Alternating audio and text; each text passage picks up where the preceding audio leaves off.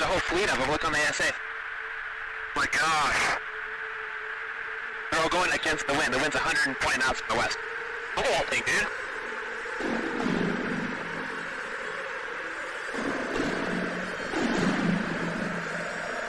That's not LNS though, is it? It's not. That is an LNS, dude. Well, if there's like at that thing. it's rotating.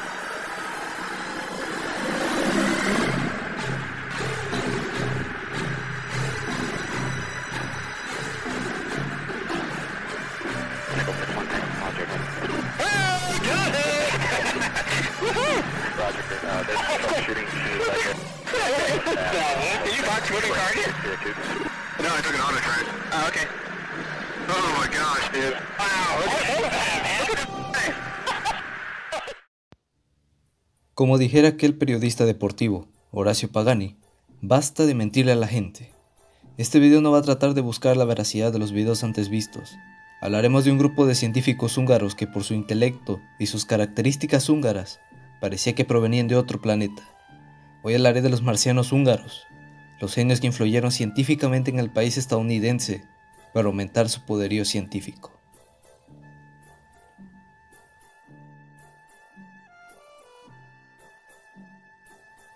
Todo empezó por la emigración de personas de distintas partes del mundo con destino a Estados Unidos por motivo de los conflictos mundiales de esos años. Así que muchos científicos tuvieron que hacer ese viaje para salvar su vida. Pero hay un grupo en particular de genios que daría de qué hablar con los años por provenir de tierras desconocidas para los estadounidenses en esa época. Hay algunos libros que tocan el tema de este grupo, en donde se plasma que los primeros húngaros en tomar como sobrenombre marciano fueron Leo Szilard, John von Neumann, Eugene Wigner, Edward Teller y Theodor von Karman. Todos ellos expertos en su materia, pero todavía faltaba para que explotara mucho de su potencial. Por ejemplo, Leo Szilard se convirtió en pieza clave para el desarrollo de la física nuclear de Estados Unidos. John von Neumann se consagró como uno de los matemáticos más grandes de la historia. Eugene Wigner ganaría el Premio Nobel de Física por sus aportes a las teorías del núcleo atómico y de las partículas elementales. Edward Teller también aportó a la física nuclear de ese país, y Theodor von Karman fue uno de los máximos referentes en la aeronáutica y astronáutica. A través de los años, han surgido distintas y extensas listas de los miembros que llegaron a conformar ese grupo. Aunque digamos que oficialmente, en pocas palabras, eran solo cinco. Otros escritores alegan que hubo más integrantes, tanto hombres como mujeres, que tenían como mínimo la ascendencia húngara. Mencionaré algunos nombres. El físico Valentin Telegdi, el inventor Peter Goldmark, el químico George Uda y los matemáticos Paul Almos, John Kemeny, Peter Lax, Paul Erdos y George Polya. Algunos tuvieron que terminar sus estudios en los Estados Unidos, ya que todavía eran muy jóvenes y tenían que seguir a sus familias en busca de un lugar más tranquilo, entre comillas. Pero lo que sí es fácil de decir es que Estados Unidos, en medio de toda esa fuga de cerebros de todas las partes del mundo, ellos tuvieron la iniciativa de darles una nueva nacionalidad y un trabajo estable. Marina von Neumann, hija de John von Neumann, en su libro La hija del marciano, donde describe aspectos personales de su padre, en particular la forma en que vivió el ser hija de un hombre tan reconocido y cómo sobresalió por cuenta propia, entre otros temas interesantes en la vida de Marina. También menciona detalles importantes de este grupo húngaro, que si quieres profundizar más en el tema de los marcianos húngaros, el libro es muy recomendado, al igual que Los marcianos de la ciencia, un libro escrito por Isvan Hargitay, que está dedicado a estos genios. Pero, ¿por qué surge todo este asunto de los marcianos húngaros? ¿A quién caramba se le ocurrió? Al parecer todo empezó desde que el físico italiano Enrico Fermi, con los famosos pensamientos que tenía sobre la posible vida en otros planetas, y del por qué no han hecho acto de presencia en nuestro mundo de manera oficial, el buen Leo Szilard comentaría sobre aquel tema. Los marcianos ya están entre nosotros, pero se llaman húngaros.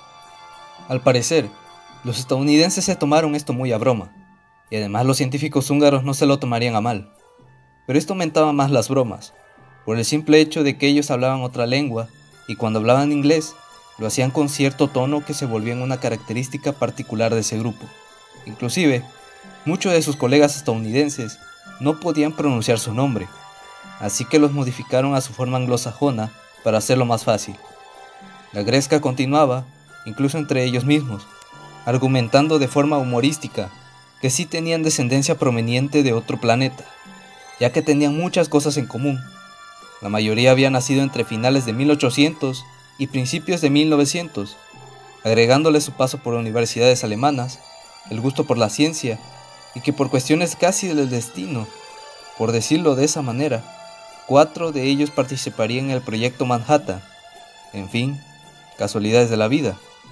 Tú puedes cuestionarte el porqué de esos acontecimientos, y también cómo es que un país que parecía desconocido para los estadounidenses sería la cuna de muchos genios en diversos campos de estudio. Como dato curioso, hoy en honor a sus aportes a la ciencia por parte de estos científicos, se les asignaría unos cráteres en la Luna con sus nombres, como es el caso de von Neumann y Sirlar. Pero hasta ahora, el único que tiene un cráter con su nombre en tierras marcianas es Theodor von Karman. Para terminar, retomaré un tema del cual Marina von Neumann aborda muy bien, y es sobre la migración en Estados Unidos. Sería casi imposible ser parte de ese país si se hubieran aplicado las actuales políticas antimigrantes en el pasado con aquellas personas que buscaban un lugar más seguro durante esos años de conflictos mundiales. Y también es de destacar cómo Estados Unidos creció como potencia mundial por el simple hecho de desarrollarse más en la ciencia. Pero tampoco es como que ese país no tuviera gente calificada para sobresalir en ciencia. Si vemos las estadísticas, Estados Unidos es de los países con más personas laureadas en ciencia. Esto no se trata de hacer ver quién es más que el otro. Lo que se quiere dar a entender es cómo Estados Unidos se estaba olvidando de cómo logró su gran desarrollo como nación, con la ayuda de sus habitantes y en cooperación de extranjeros. Pocas palabras, si dejan de lado la importancia de la colaboración en conjunto con otros genes foráneos, es posible que otra nación copie la fórmula que ellos tantos años les funcionó.